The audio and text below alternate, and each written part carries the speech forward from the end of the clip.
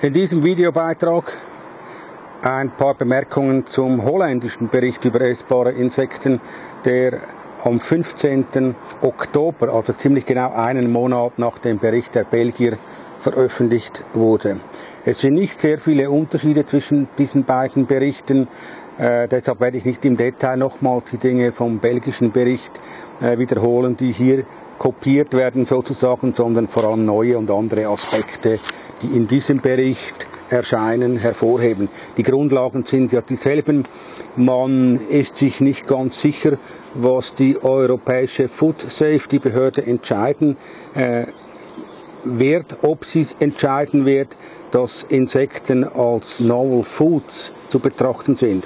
Und wenn in Zukunft äh, Insekten als Novel Food angeschaut werden, dann heißt es auch, dass alle Insekten und alle Insektenprodukte, die für den menschlichen Verzehr vorgesehen sind, äh, einen kompletten europäischen Marktzulassungsprozedere, eben diese Novel Food Prozedere durchlaufen müssen, was, wie man bereits weiß, von einigen wenigen solchen äh, Market Approvals unter der Novel Food äh, Verordnung sehr langwierig und sehr teuer äh, sein wird und sich dann immer die Frage stellt, wer zahlt denn dieses viele Geld, wenn nicht Großfirmen, ähm, Food-Riesen sozusagen, die sich dafür dann aber auch Exklusivrechte, Patente und Monopole äh, versprechen und ganz sicher auch sichern werden, wenn so viel Geld äh, in die Hand genommen werden wird. Ähm, das Paper der Holländer richtet sich also auch an diese Europäische Food Safety Kommission, die diesen Entscheid jetzt bis Ende 2015 vorbereiten soll. Und sie gibt eigentlich auch eine relativ pragmatische Sicht auf diese Dinge. Man soll äh, Insekten zulassen als Nahrungsmittel für die Menschen. Man soll aber eigentlich ähnliche Regeln beachten wie bei der Produktion von anderen tierischen Lebensmitteln. Vielleicht mit dem Unterschied, dass man bei den Insekten eine Behandlung, eine Erhitzung eigentlich äh, vor der Konservierung äh, durchführen sollte. Also keine rohen äh, Insekten gegessen werden sollten. Etwas, was übrigens auch schon empfohlen wird bei den Pilzen. Auch Pilze sollten heute nach dem neuesten Stand der Wissenschaft eigentlich nicht mehr roh gegessen werden, auch wenn das jetzt bei den Pilzen zum Beispiel in der Schweiz noch nicht explizit so äh, geschrieben ist. Die Holländer haben sich eigentlich bei ihrem Bericht dann äh, beschränkt auf äh, drei Insekten, die bereits vorgesehen sind und in Holland bereits äh, gezüchtet werden für die menschliche Ernährung. Das ist der Tenebrio molitor, das ist der ganz normale Mehlwurm. Dann ist es der Lesser Mehlwurm Beetle, das ist eigentlich Alphitopius diaperinus, ist ähm, ein kleiner Schwarzkäfer auch, wie Tenebrio äh, Molitor und es ist die Wanderheuschrecke.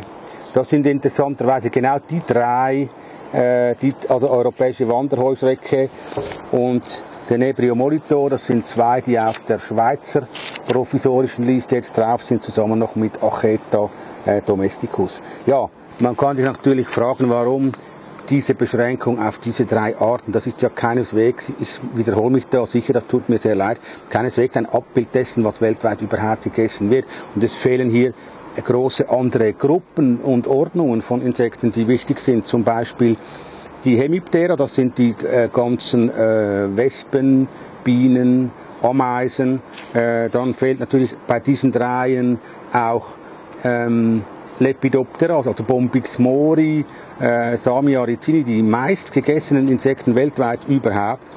Also man hätte doch zumindest hier bei der Auswahl dieser drei Tiere nicht einfach nur darauf zurückgreifen sollen, was in Holland bereits produziert wird, sondern vielleicht einen Blick wagen können auf eine vielleicht sinnvollere Zusammenstellung einer solchen Probeliste im Bereich essbare Insekten. Hat aber nicht stattgefunden. Wir wollen das jetzt auch nicht weiter noch ausführen. Die Resultate dieser Studie äh, wollen wir vielleicht kurz zusammenfassen. Ähm, man hat in diesem Bericht immer wieder betont, dass diese Larven vom Mehlwurm mit leerem Darmtrakt eigentlich untersucht wurden. Ähm, aber dieses Entleeren des Darmtrakts ist natürlich eine Prozedur, äh, die nicht absolut durchgeführt werden kann, sondern das ist ähm, etwas, das man macht, indem man die Tiere einfach zwei Tage Hunger lässt. Und es gibt andere Studien, die zeigen, dass das gar nicht dazu führt, dass die mikrobielle Belastung dadurch kleiner wird. Äh, man hat diese Tiere also äh, zwei Tage wahrscheinlich fasten lassen, hat sie dann abgewaschen, äh, gefroren und in 50 Gramm Packen, Paketen dann äh, bereit gemacht. Auch die erwachsenen äh, Wanderheuschrecken with empty guts, die seien auch tiefgefroren worden. Dann hat man die Sachen untersucht, ähm, also die normalen Untersuchungen eigentlich von Fleischprodukten. Äh, und man hat herausgefunden, dass dieser Wert für die Gesamtmenge von aeroben Bakterium äh, höher sind als in der äh, normalen Produktionshygienevorschriften für Fleischprodukte. Das ist aber eigentlich auch logisch, denn ein Fleisch von einem gesunden Tier ist an sich eine, eine sterile Materie, währenddem ein in ganzes Insekt natürlich Kontakt hat mit seiner Umgebung neben dem Darmtrakt und von daher natürlich noch, äh, logischerweise auch eine größere Zahl von diesen aeroben Bakterien enthält. Aber nach, einem, nach einer zehnminütigen Hitzebehandlung hat sich dann das etwas auf das gleiche Level gesenkt. Dann schreibt man, es sei unklar, wie viel Chitin für den Menschen erträglich sei. Die Europäische Kommission für Foodsicherheit schlägt 2,7 Gramm vor. Auch hier steht, dass das wenn man 6% annimmt als die Menge, die ein, ein Insekt enthält an Chitin, was ein extrem hoher Wert ist, dann würden etwa 50 Gramm oder 45 steht hier Gramm ähm, solcher Insekten ähm, ausreichen, um diesen Grenzwert 2,7 Gramm zu erreichen. Aber 6 Prozent, das ist ein sehr, sehr hoher Wert, betrifft vor allem die hemimetabolen Insekten, Grillen, äh, Heuschrecken und so weiter mit einem sehr großen Chitingehalt, auch äh, adulte Käfer beispielsweise, aber eine Puppe von Bombix mori oder Samia ricini hat einen Chitingehalt von weniger als einem Prozent, könnte man also fünfmal mehr äh, diese Tiere essen, um diesen Grenzwert zu erreichen. Das wären dann 250 Gramm. Das liegt weit über der Menge an äh, tierischen Proteinen, die äh, Menschen in Europa zu sich nehmen täglich. Ähm, was hier noch ein Zusatz ist, bei was in anderen Studien zum Teil fehlt, in der französischen zwar auch nicht, aber dass natürlich das Personal, das arbeitet in solchen Zuchten, auch geschützt werden muss vor allergischen Reaktionen, aber auch durch Staub und solche äh, Sachen. Was sind die, die Conclusions, die eigentlich die Zusammenfassung dieser, dieser Studie? Insekten müssen erhitzt werden vor dem Tiefgefrieren oder Einfrieren.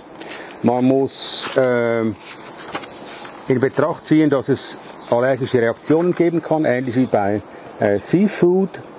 Und ähm, man soll eben nicht mehr als 45 Gramm pro Tag ähm, zu sich nehmen dieser Insekten wegen dem Risiko, dass man eine zu große Menge Chitin zu sich nimmt. Wie gesagt, das ist eine sehr, sehr fragwürdige Definition. Einfach so, weil das kommt natürlich extrem auf die Arten drauf an.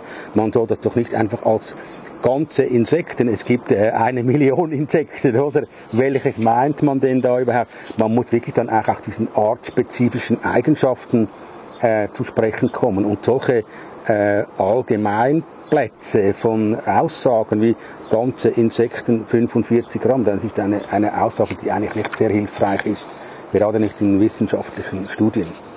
Also was ist der, der Ratschlag? Der Ratschlag, den diese Leute, die die holländische Studie gemacht haben, ist relativ klar und sehr pragmatisch. Betrachten Sie Insekten als Nahrungsmittel. Das ist mal das Erste äh, instruieren Sie den Zuchtbereich oder Zuchtsektor dieser Industrie, so dass die äh, Prozesshygiene eingehalten wird, ähnlich wie bei anderen Tieren. Also die Haltungsbedingungen müssen festgelegt und überprüft sein und müssen natürlich eben gecheckt werden von bestimmten Leuten, die auch instruiert sind äh, über diese Bedingungen. Dann zusätzliche Forschung muss noch äh, geleistet werden im Zusammenhang mit Allergiestudien und man soll auch ähm, für die Beschäftigten in solchen Insektenzuchten spezielle Regulierungen durchführen. Und dann noch weiter ähm, zu den mikrobiellen äh, Grenzwerten sozusagen hat man hier einen Vorschlag gemacht. Die müssen also zuerst erhitzt werden, um das mikrobiologische Risiko äh, zu reduzieren und dann stehen hier die Daten äh, die für die, die Grenzwerte für die einzelnen ähm, Untersuchungsgegenstände, die ganz ähnlich sind wie bei der normalen Fleischproduktion. Auch eine Haltbarkeit von einem Jahr äh, scheint diesen Leuten hier etwas sehr lang, muss zuerst noch ähm, überprüft und bestätigt werden. Das in Kürze dieser äh, Bericht. Es hat hier einige interessante kleine Facts noch drin. Ähm, das ist zum Beispiel so ein Effekt. Ähm, man hat äh, ganz aktuelle Daten über den Konsum von Fleisch von Holländern. Bei den Frauen sind das pro Tag im Durchschnitt 76 Gramm Fleisch. Die größten Konsumentinnen im Fleischbereich 189 Gramm, die Männer im Schnitt 119 Gramm, also 50 äh, Prozent mehr als die Frauen. Und die größten Fleischesser in Holland konsumieren täglich über ein Viertel Kilogramm Fleisch jeden Tag. Und die äh, Meinung dazu des Advisory Boards Eating Less Protein is one of the possible solutions to achieve a more sustainable diet. Ganz klar, also weniger Proteine von diesen Tieren essen ist eine mögliche Lösung, um eine nachhaltigere Ernährung zu garantieren. Man muss von äh, fleischbasierten Proteinen wegkommen zu more sustainable sources of protein. Dann heißt hier, several companies in the Netherlands are rearing insects that could be used to replace the animal protein in people's current diets. Also es gibt schon mehrere, da steht several, mehrere Firmen, die äh, Insekten züchten für den menschlichen äh, Konsum. Ja, das, das, das, was sind denn das für Firmen? Und wie viel, denk, was denken Sie, wie viele Tonnen äh, Mehlwürmer produzieren beispielsweise die Holländer jedes Jahr? Oder wie viele Tonnen äh, Grasshoppers für den menschlichen äh, Bedarf? Hier sind die Daten. Die sind äh, erstaunlich, in, vor allem in einer Hinsicht, denn sie sind sehr niedrig. Insect for Human Consumption in the Netherlands. Der Embryo Molitor, circa 1500 Kilo pro Jahr. Alphitobius diaperi oder kleine Mehlwurm etwa 1000 Kilogramm pro Jahr. Das sind die beiden Stoffe, die auch enthalten sind in diesen Mehlburger-Produkten, auch die in Belgien auch auf dem Markt sind. So. Und Locusta migratoria, die Wanderheuschrecke, bringt es auf 45 Kilogramm pro Jahr. Das sind etwa 25.000 Heuschrecken, jeweils 1,8 Gramm. Das ist ein interessantes Fakt. Man das zeigt, wie marginal dieser Markt überhaupt ist und dass äh, diese Mengen extrem klein sind im Moment. Vor allem sind sie klein im Vergleich zu der unglaublichen Publicity, die man hat, wenn man irgendwo eine Heuschrecke in eine Pfanne wirft und dann zwei, drei Journalisten einlädt. Hier, das ist ein bisschen das Abbild dessen, was im Moment von der holländischen Industrie, diese several companies im Moment produzieren. Es gibt ja auch in der französischen und belgischen Studie Hinweise auf diese Produktionen. Da hat man immer den Eindruck, es handelt sich um Tonnagen. Äh, das ist aber überhaupt gar nicht der Fall. Ähm, dann wird natürlich aufgeführt, was die Insekten für Vorteile haben, was für besondere Risiken.